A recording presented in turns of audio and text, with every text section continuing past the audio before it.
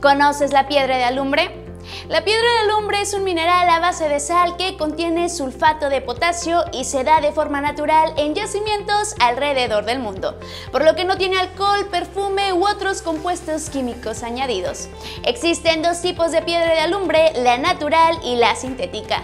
La primera es fácil de reconocer debido a su aspecto translúcido, mientras que la sintética contiene amonio y aluminio. Es más opaca y su efecto no es el mismo al usarla. Este material orgánico se ha popularizado gracias a los beneficios a favor de la piel. Aquí te contamos algunos. Número 1. Astringente y antiséptica.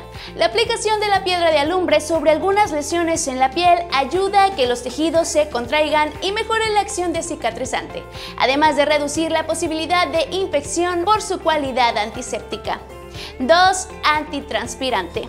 Esta propiedad ayuda a controlar la transpiración y el mal olor a causa de la sudoración, por lo que se puede usar en axilas y pies con resultados provechosos. ¿Lo sabías? Mi nombre es Elise Rodríguez y esto es Inciso 1.